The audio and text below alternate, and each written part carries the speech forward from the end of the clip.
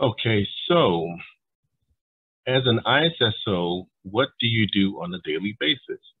Um, a good example of something you will encounter on your job is answering questions. So providing guidance to your client.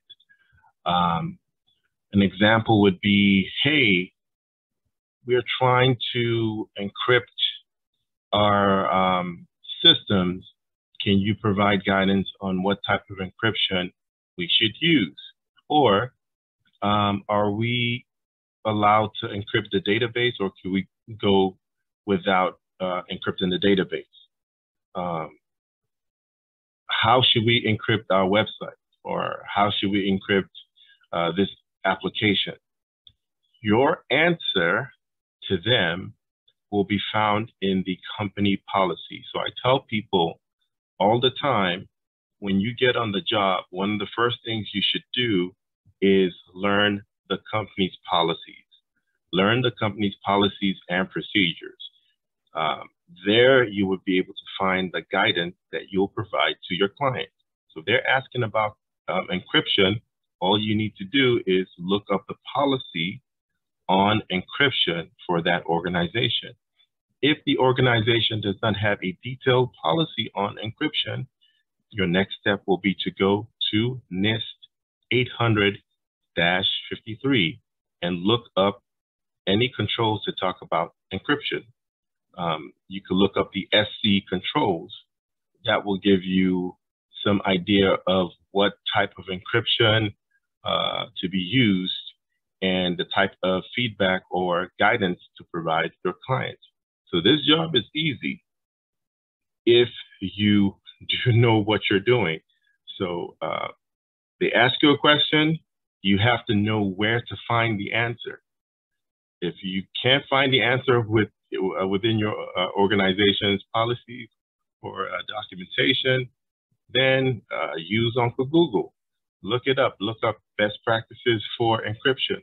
Nine times out of 10, if you're working in the federal space, NIST is what you're going to use. As a matter of fact, NIST is what you should use if you're working in the federal space.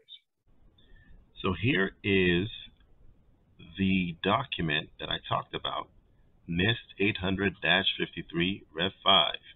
And this document will be considered your cybersecurity risk management Bible. This is where you get your answers from. Now, this um, document is about security controls. A security control is something you put in place to minimize risk. All right, measures you put in place to minimize risk. So, this document has different control families, so different scenarios on uh, cybersecurity issues, what could possibly take place.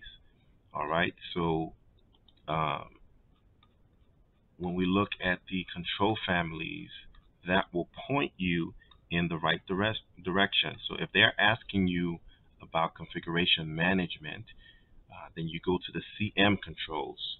All right, so we could do Control F and just type CM, and we'll get to the CM controls. All right, so I'm just gonna scroll down on all the way to the CM control family, configuration management. So if they're asking you a question about configuration management, this is where you pull your answers from. So this particular control family has different sections, different test steps. Okay, so they're asking, hey, how do we uh, put together our configuration management policy or configuration management procedure, you will come to this document, look up configuration management, and let them know, hey, when you develop the document, make sure it has uh, the organization uh, level, the mission, the business process. Make sure it has um, stuff that talks about the laws, and the directives and regulations that they're abiding by.